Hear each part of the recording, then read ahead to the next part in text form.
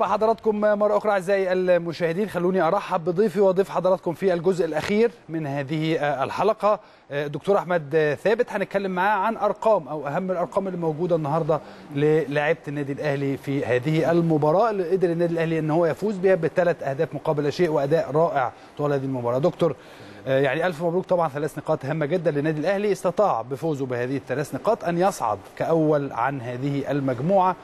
للدور الربع النهائي في البداية طبعا مبروك للنادي الأهلي وجماهيره العظيمة في كل مكان الفوز والصدارة. الحمد لله على الفوز يعني فوز فيه ريحة كده شخصية البطل. فوز بيدي رسالة كده لجميع المنافسين إن النادي الأهلي إن شاء الله قادم بقوة للمنافسة على لقب البطولة هذا العام مم. من وجهة نظر يعني رجل المباراة هو جمهور النادي الأهلي النهارده طبعا. اللي مال الاستاد عن آخره تشجيع بحرارة بقوة لامانه يستحقوا التحية وإن شاء الله إن شاء الله نواصل على كده بداية من دور الثمانيه لغاية النهائي زي ما تعودنا من جمهور النادي الأهلي تمام آه، دكتور